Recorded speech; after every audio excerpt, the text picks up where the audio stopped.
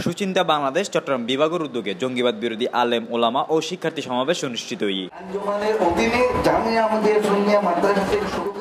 নগরী ষোলো শহর জামে আহমদিয়া সুনিয়া মহিলা ফাজিল মাদ্রাসাত সকাল দশটাত এই সমাবেশ অনুষ্ঠিত হয়। সুচিন্তা বাংলাদেশ চট্টগ্রাম বিভাগের সমন্বয়ক অ্যাডভোকেট জিনাত সোহানা চৌধুরীর সভাপতিত্বে অনুষ্ঠানত প্রধান অতিথি হিসেবে উপস্থিত আছেন চট্টগ্রাম মেডিকেল বিশ্ববিদ্যালয়ের ভিসি অধ্যাপক মোহাম্মদ ইসমাইল খান। বিশেষ অতিথি হিসেবে উপস্থিত আছেন আঞ্জুমানের রহমানী আহমদিয়া সুনিয়া ট্রাস্টের সচিব আলহাজ মোহাম্মদ আনোয়ার হোসেন অতিরিক্ত উপপুলিশ কমিশনার মোহাম্মদ মিজানুর রহমান ডেনমার্ক আওয়ামী লীগের সাধারণ সম্পাদক ডক্টর বিদ্যুৎ বড়ুয়া ও চট্টগ্রাম প্রেস ক্লাবের সাধারণ সম্পাদক শুক্লাল দাস। baixo. এ প্রধান বক্তা হিসেবে বক্তব্য রাখি জামে আহমদিয়া সুনিয়া মহিলা ফাজিল মাদ্রাসার অধ্যক্ষ ডক্টর মোহাম্মদ সরোয়ার উদ্দিন। এছাড়াও এন্ডে আরও উপস্থিত আছিল সুচিন্তা বাংলাদেশ চট্টগ্রাম বিভাগ যুগ্ম সমন্বয়ক আবু হাসনাত চৌধুরী, পাঁচলাশ মডেল থানার এসআই খন্দকার আব্দুল মোতালেব ও সুচিন্তা বাংলাদেশ হাটাজারি উপজেলার সমন্বয়ক জাহিদুল ইসলাম চৌধুরী সহ আরও বোধকে।